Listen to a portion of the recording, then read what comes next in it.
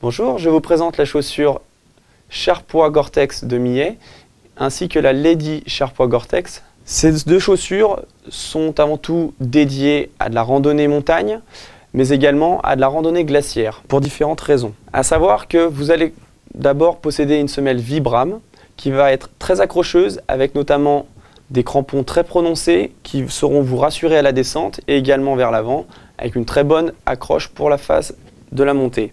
Vous avez une chaussure qui est cramponnable avec deux types de crampons, soit à lanière, soit semi-automatique, puisqu'il y a une cale à l'arrière de la chaussure.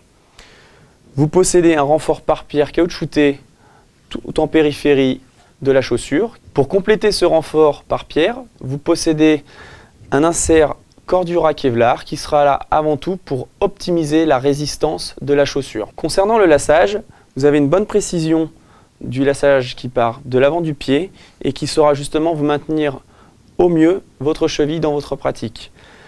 Les derniers crans sont autobloquants. Vous êtes sur une chaussure totalement imperméable puisqu'elle possède une membrane Gore-Tex et qui, en plus de cela, vous apporte une légère isolation jusqu'à des températures allant à moins 5 degrés. En résumé, une semelle Vibram très accrocheuse, une imperméabilité totale avec la membrane Gore-Tex et une légèreté essentielle, 600 grammes pour une taille en 42.